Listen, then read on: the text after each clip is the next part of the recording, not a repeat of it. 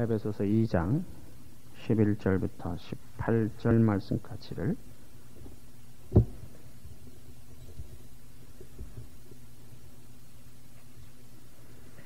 에베소서 2장 1절 11절부터 18절 말씀까지 보겠습니다. Scripture reading Ephesians chapter 2 verse 11 to 18.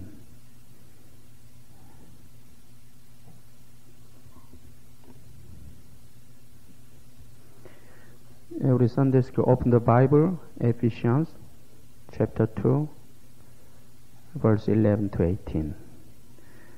11절부터 읽습니다. 그러므로 생각하라 너희는 그때 육체로 이방이요 손으로 육체에 행한 할례당이라 칭하는 자들에게 무할례당이라 칭함을 받는 자들이라. 그때 너희는 그리스도 밖에 있었고 이스라엘 나라 밖의 사람이라 약속의 언약들에 대하여 의인이요. 세상에서 소망이 없고 하나님도 없는 자이더니 이제는 전에 멀리 있던 너희가 그리스도 예수 안에서 그의 피로 가까워졌느니라. 신지라 그는 우리 화평이신지라.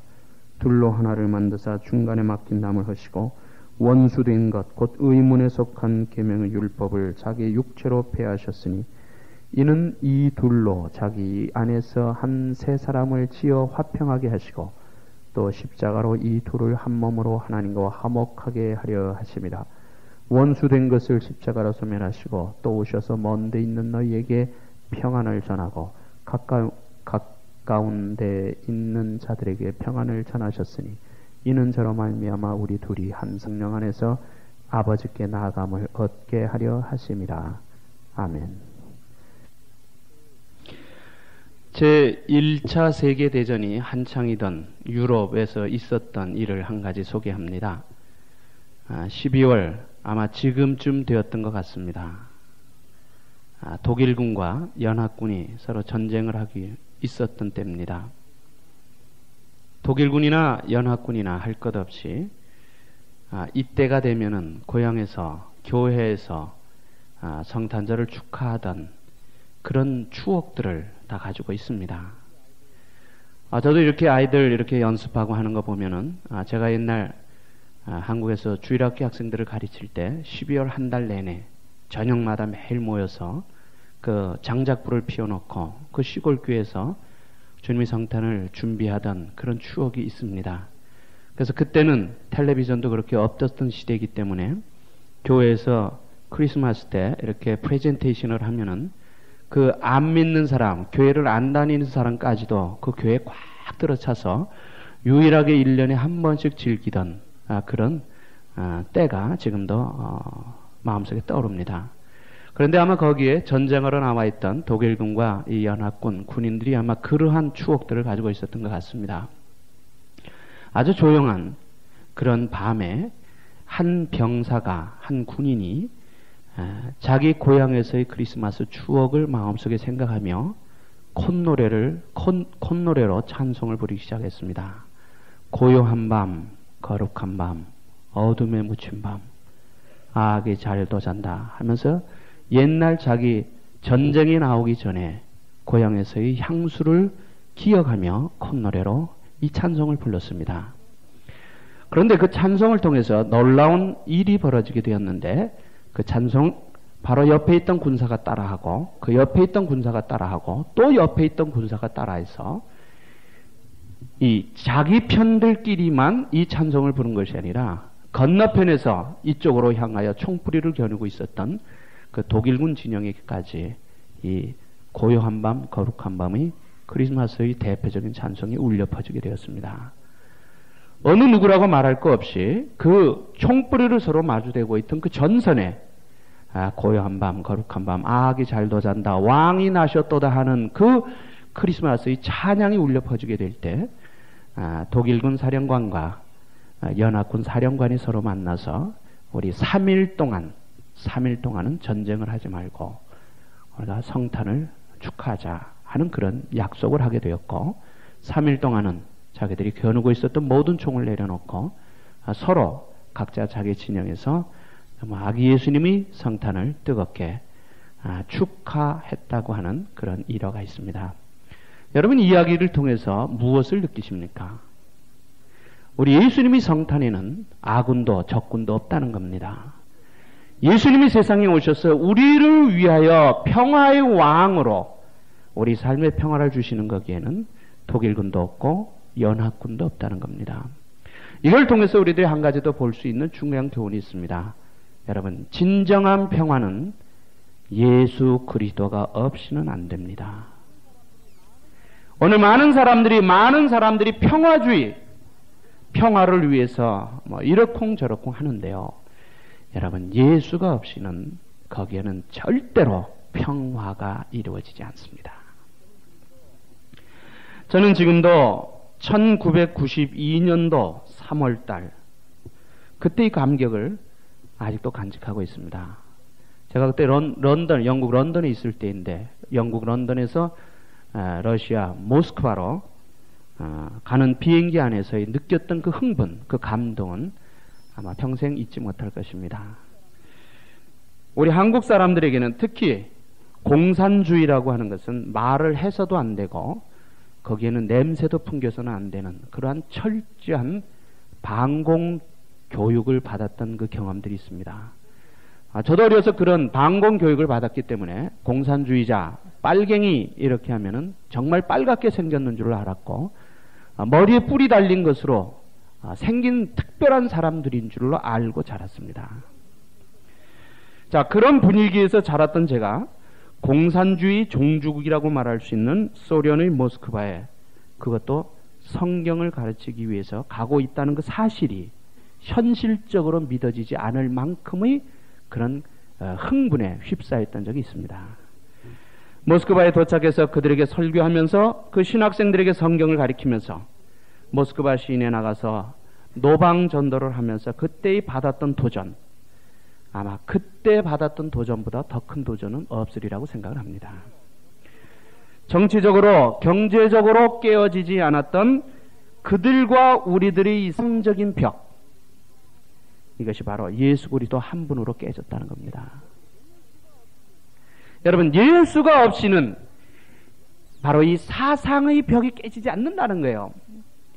그들과 1992년도 3월 달에 두 주간 같이 말씀의 교제를 나누면서 서로 같이 부둥켜 안고 눈물을 흘리며 그들 서로를 위해서 기도해 주고 여러분 이것이 어디서 가능합니까? 누가 이것을 가능하게 할 수 있습니까?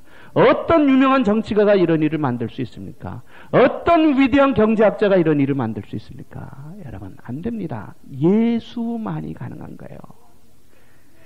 저는 그러한, 그러한 체험을 하면서 두 가지 중요한 사실을 깨달았습니다. 첫째, 하나는 예수 앞에는 공산주의도 자본주의도 아무 의미가 없다는 겁니다. 여러분 공산주의 자본주의라고 하는 것은 인간이 자기들이 욕심에 의해서 자기들의 편리에 의해서 만들어 온 하나의 조직이죠. 그것이 예수 앞에는 아무 의미가 없는 거예요. 여러분 예수 앞에 무슨 공산주의가 의미 있고 예수 앞에 무슨 자본주의가 필요합니까? 아무 의미가 없다는 거. 그러니까 또한 가지 그들과의 두 주간의 체험을 통해서 느낀 것은 세계를 모든 사람을 하나로 묶을 수 있는 것 역시 예수밖에 없다는 겁니다. 여러분 정치적으로 하나로 묶을 수 있을 것 같습니까? 그렇게 묶을 수 있다는 것 생각하는 사람이 있다면 착각입니다. 여러분 경제적으로 하나 묶을 수 있다고 생각합니까?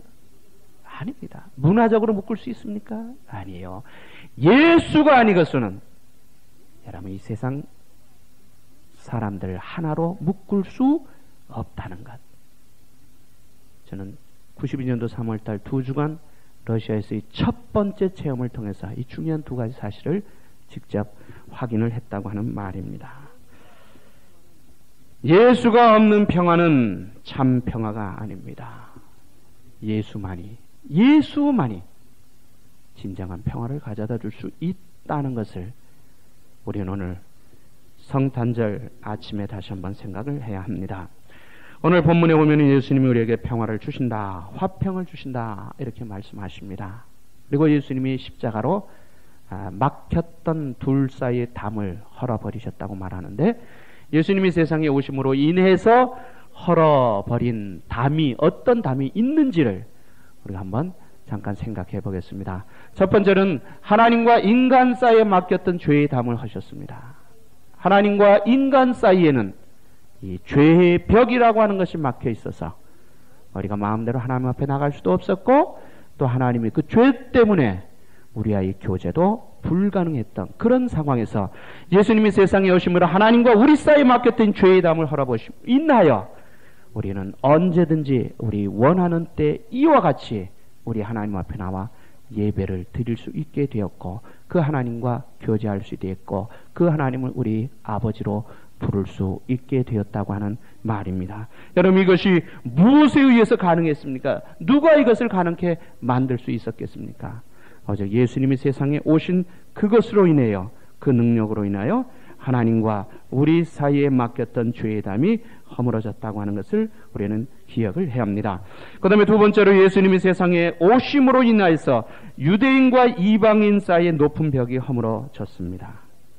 오늘 본문 12절에 보면 이런 말씀이 있습니다. 그때 너희는 그리스도 밖에 있었고 이스라엘 나라 밖의 사람이라 약속의 언약들에 대하여 외인이요.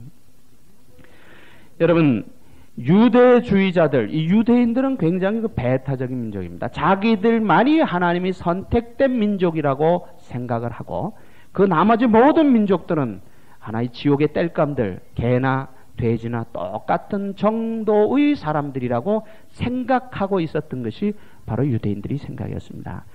그렇기 때문에 하나님께서는 바로 이들의 잘못된 생각을 깨뜨리기 위해서 예수님을 세상에 보내주셨고 예수님이 오심으로 인하여 너무나도 분명하게 구별되었던 유대인과 이방인 사이 그 높은 담이 허물어졌다고 하는 겁니다. 사도행전 10장에 보면은 유명한 고넬료의 사건이 나오는데 그 고넬료도 유대인이 저, 그 베드로도 유대인 아니었습니까? 유대인이었기 때문에 똑같은 생각을 가지고 있었습니다. 그런데 하나님께서는 그 베드로를 이제 고넬리우스 고넬료의 집에 보내서 그로 하여금 예수 그리스도에 대한 복음을 듣게 하실 계획을 가지셨다는 겁니다. 그런데 만약에 베드로를 그냥 보냈다면 베드로는 그 이방인에 대한 그 잘못된 생각 때문에 여러분 가지 않았을지도 모릅니다. 하나님께서는 그러한 베드로의 생각을 깨뜨려 버리시기 위해서 환상을 보이십니다. 금 보자기 속에 땅에 기는 각종 더러운 짐승들 곤충들이 기어다니게 하고 잡아먹어라. 하나님 내가 더러운 것은 절대로 잡아먹지 않습니다. 잡아먹은 척이었습니다. 이렇게 함으로 인해서 이제 하나님께서는 그 하나님의 관심이 유대인에게만 있는 것이 아니라 이방인에게도 하나님의 관심이 있다는 것을 보여주십니다.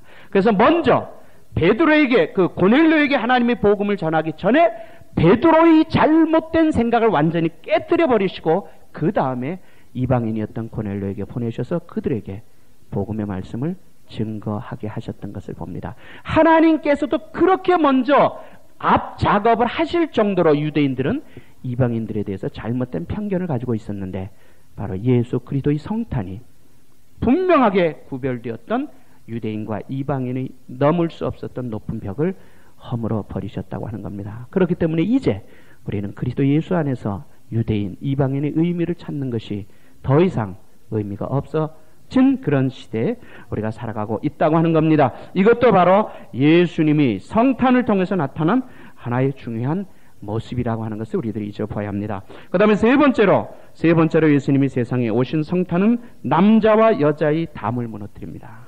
옛날에는 말할 것도 없습니다. 지금도 사실 따지고 보면 여자들이, 여자들의 위치가 별로 인정받지 못하는 위치입니다. 여러분, 100년 전, 우리 한국에 기독교가 들어오기 전, 기독교가 들어오기 전에 한국 사회를 생각하실 수 있습니까? 우리 여기 연세 많으신 분들은 그때 생각을 합니다. 하실 겁니다. 여자 하면은 거의 그 사람 축에도 못 끼던 그런 시대가 우리 역사에도 있었다는 겁니다.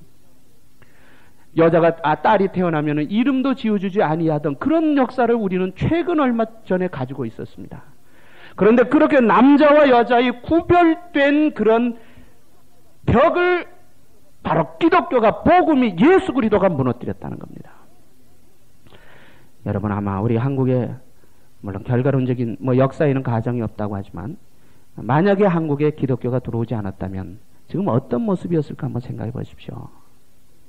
여러분 생각해 보십시오. 기독교 능력입니다. 그렇기 때문에 바로 이 남자와 여자의 그 높은 벽을 예수님이 세상에 오심으로 인해서 깨뜨렸다고 하는 거예요. 우리 기독교 특징이에요. 그러면 기독교가 100년 전에 한국에 들어올 때 그 전에 한국에 다른 종교는 없었냐 말입니다. 여러분 불교는 1600년 됐습니다. 기독교가 들어오기 전에 1600년 전에 고구려 때 들어왔죠. 벌써 기독교가 들어오기 전에 500년 전에 유교가 들어왔습니다.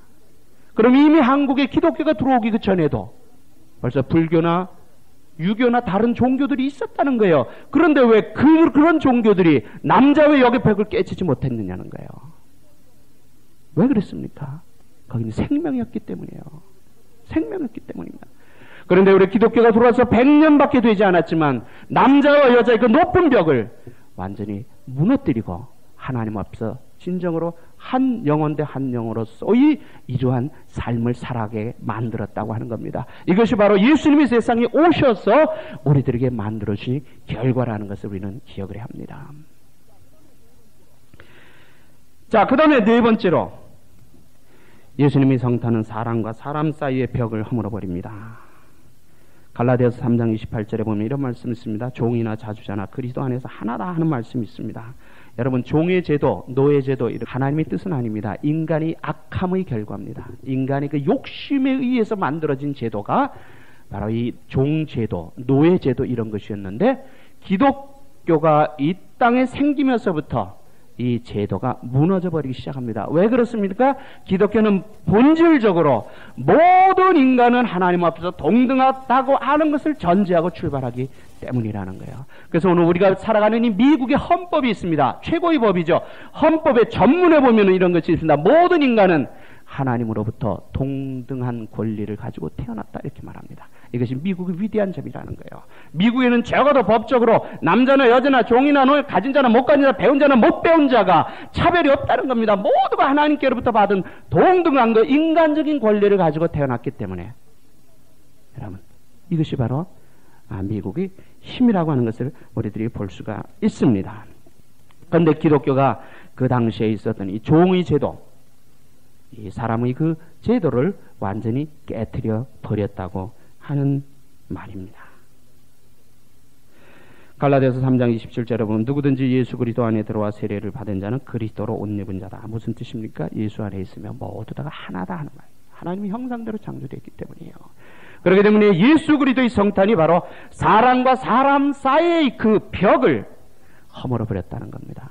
예수 안에는 예수 앞에서 하나님 앞에서는 가진 것도 갖지 못한 것도 배운 것도 배우지 못한 것도요 아무 의미가 없다는 겁니다. 단지 한 영혼 대 한 영혼으로서 우리가 서서 살아가는 것이라는 말입니다.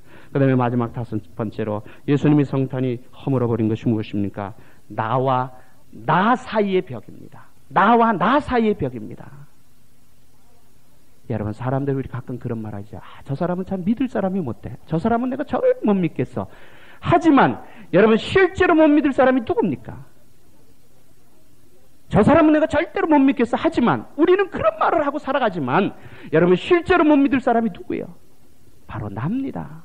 바로 자기 자신이에요. 여러분 자기 자신을 어느 누가 목사님 나는 내 자신을 분명히 믿을 수 있습니다. 이렇게 말할 사람이 있습니까? 여러분 그렇게 말할 수 있는 사람이 있다면 나는 내 자신을 믿을 수 있습니다라고 말할 수 있는 사람이 있다면 그 사람은 세상에서 가장 아무것도 모르는 사람입니다. 여러분 세상에 자기는 자기 자신을 못 믿어요. 그런데 나와 나 사이 벽, 내가 나를 믿지 못하는 여러분 그것을 우리는 갈등이라고 하죠. 그것을 바로 예수 그리스도가 해결했다는 겁니다. 로마서 7장 1절부터 마지막 절까지 전장에 보면 사도 바울이 이것을 고백합니다. 자기는 갈등을 했어요. 자기 속에는 두 자아가 있다는 겁니다. 보이는 내가 있고 보이지 않는 내가 있다는 거예요. 내가 이해할 수 있는 내가 있고 내가 이해할 수 없는 내가 있다는 거예요. 이것을 우리는 다른 말로 육적인 내가 있고 영적인 내가 있다. 이렇게도 표현할 수 있죠. 내 속에 두 자아가 있어요. 그래서 이 두 자, 보이는 것과 보이지 않는 내가 마음속에서 서로 싸움을 합니다. 이것을 우리는 갈등이라 이렇게 표현합니다. 사도 바울도 그것 때문에 굉장히 고민을 많이 했죠. 로마서 7장을 보십시오. 여러분. 처음부터 끝까지 계속 오라 나는 공고한 사람이에요. 누가 이 사망의 몸에서 나를 건져내라. 그 정도로 우리는 우리 자신을 못 믿는다는 거예요. 그런데 사도 바울이 로마서 8장으로 넘어가면 1절, 2절에서 뭐라고 말합니까? 예수 그리스도의 생명의 범위, 죄와 사망의 법에서 너를 우리 성경에는 너를이라고 돼 있는데 그게 원래는 나입니다. 나를 해방하였다 이렇게 말합니다. 그러니까 더 이상 보이는 자기와 보이지 않는 보이는 바울과 보이지 않는 바울이 갈등하지 않는다는 거예요. 무엇을 누구를 통해서 이것을 해결합니까? 예수 그리스도의 생명의 사망의 생명의 법이 죄와 사망의 법에서 너를 구현하였다는 거예요. 다시 말하면 우리 속의 두 자, 영적인 자와 육적인 자, 보이는 자와 보이지 않는 자, 내가 이해할 수 있는 자와 내가 이해할 수 없는 자가 싸웁니다. 싸우는데 이것을 해결할 수 있는 것은 여러분 수양, 도덕, 도를 닦는다고 됩니까? 세상의 지식 갖고 됩니까? 명예, 권력? 안 됩니다. 이것을 해결할 수 있는 것은 오직 예수 그리스도밖에 없다는 거예요. 예수 그리스도밖에 없다는 거예요. 그렇기 때문에 예수님이 세상에 오신 것, 그저 인간의 죄를 구원하셨어요. 우리에게 영원한 천국의 소망을 주셨다 하는 그런 본, 복음이 기독교의 본질적인 부분만 있는 것이 아니라 여러분 사회 전 역사에 걸쳐 사회 각 전반적인 것에 걸쳐서 예수님이 성탄이 끼친 영향이 엄청나다는 겁니다. 여러분 이게 우리 기독교의 능력이에요. 위대함이에요. 특별성입니다. 그렇기 때문에 예수님이 오신 성탄절 하면은 성탄의 의미가 무엇인지도 모르는 사람까지도 덩달아서 즐거워하는 것. 그것을 통해서 우리들이 무엇을 볼 수 있습니까? 어쨌든 주님이 성탄은 기쁜 것이다 하는 거예요. 내가 예수를 그리스도로 나의 구세주로 고백하든 안 하든 어쨌든 예수님이 세상에 오셨다는 사실은 예수를 믿는 사람이건 예수를 안 믿는 사람에게건 여러분 특별한 뉴스가 될 수 있다는 겁니다. 그래서 누가복음 2장 14절에서 뭐라고 말합니까? 하나님 하늘 하나님께는 영광이요 땅에서는 기뻐하심을 입은 사람들 중에 평화다. 그렇기 때문에 오늘 세상 때문에 오늘 세상 사람들이 성탄절이 되면 예수가 누군지도 제대로 알지 못하면서 그저 들떠서 기뻐하는 것. 이것을 통해서 세상에 진정으로 기쁨 줄 수 있는, 진정으로 평화를 줄 수 있는 분은 누굽니까? 예수밖에 없다는 겁니다. 우리가 오늘 성탄절을 맞이하면서 이런 것을 가지고 우리가 성탄을 맞이하고 인간의 몸을 입고 역사 속에 들어오신 그 예수 그리도의 성탄을 우리가 마음속 깊은 곳에서 축하하고 기뻐해야 될 이유가 여기 있다고 하는 말입니다.